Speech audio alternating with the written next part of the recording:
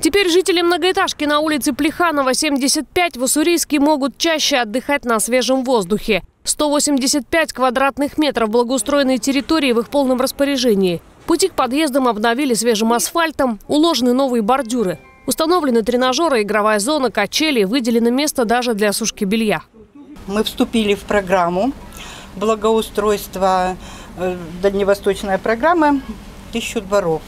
Туда комплекс ходил, асфальтирование, детская площадка, спортивная площадка, зона отдыха и белевая. Территорию на Плеханова 14 тоже благоустроили по программе «Тысяча дворов Дальнего Востока». Члены комиссии проверили качество работы, обратили внимание даже на мелкие детали. А заодно пообщались с детьми на площадке. Мальчишки и девчонки продемонстрировали, что новые тренажеры им очень пригодятся.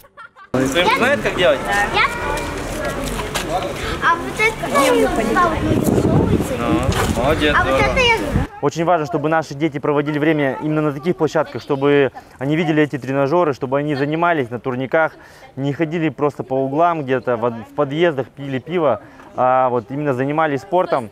Как сообщили сотрудники администрации города, приемки придомовых территорий будут продолжаться по плану до конца лета.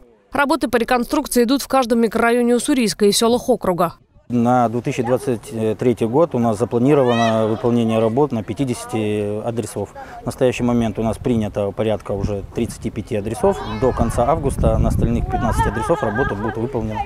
Муниципальная, краевая и федеральные программы по благоустройству дворов действуют до 2027 года. И если по первой городской можно сделать только один вид работы – асфальтирование или установку площадки, то по остальным обновить придомовую территорию можно комплексно.